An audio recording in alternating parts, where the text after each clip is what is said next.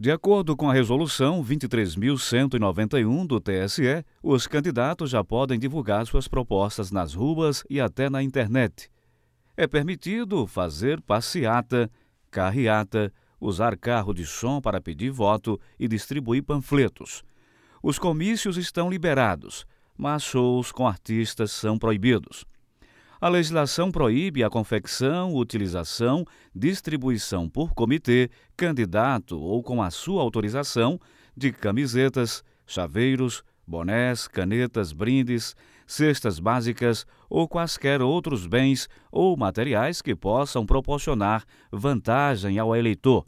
O candidato não pode fazer propaganda em postes de iluminação pública, viadutos, clubes e outros locais de uso comum. Campanha por meio de outdoor também está proibida. Os candidatos já não podem mais participar da inauguração de obras públicas.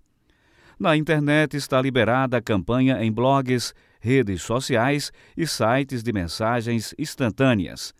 Mas é proibido o anonimato e a propaganda paga.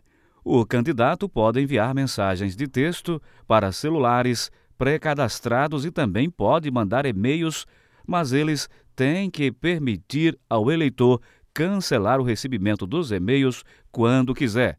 Sites de empresas e de órgãos públicos não podem ser utilizados para fazer campanha.